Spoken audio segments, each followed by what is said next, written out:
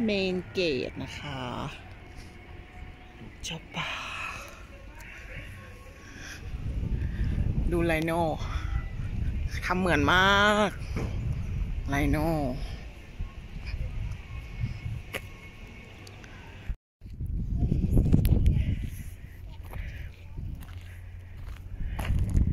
ช้างเราอยู่ตรงนั้นนะ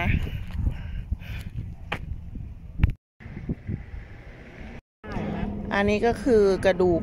ผงของช้างนะคะ เขาเผาแล้วใช่ไหมดูดิสองเป็นกี่ตันอะสองสองหมื่นเก้าพันตัน เออสองหมื่นเก้าพันกิโลกรัมอะ ตัวหนึ่งอะเหรอ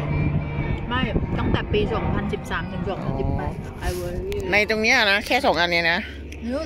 เรือกองใหญ่เลยฮะกองใหญ่หนูก็ใช่เหรอ เอ้าแค่ดูดิสองพันเงินมันกี่ตัน อันนี้นะคะ กระดูกช้าง เปิดรถด้วยเชียวมีอะไรให้ลักไหมเนี่ยตัน ไม่ใช่นะไม่ใช่หินเหรอ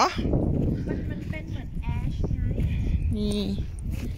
เท่ากระดูกช้าง อันนี้อันนี้อันนี้เพิ่งเผามาใหม่ๆเลยนะทุกคน อันนี้คือเพิ่งเผามาใหม่เพราะช้างมันโดนฆ่าเป็นๆอันนี้ใหม่ อันนั้นโอนนะเขาถึงไม่ให้คนเล็กไงสวัสดีค่ะทุกๆคน วันนี้เราก็ปูจะพาไปชม ขี้เท่าของช้างนะคะ ที่เขาเผาแล้ว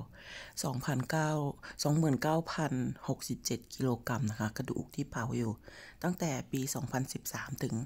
2018 นะคะสองกองนี้คือเผานานแล้วแต่ว่ากองนู่นข้างหลังรถ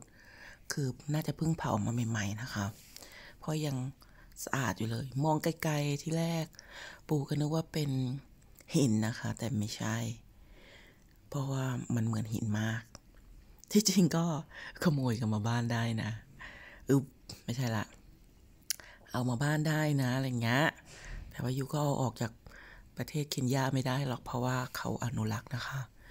ห้ามขนกระดูกสัตว์ออกต่างประเทศค่ะ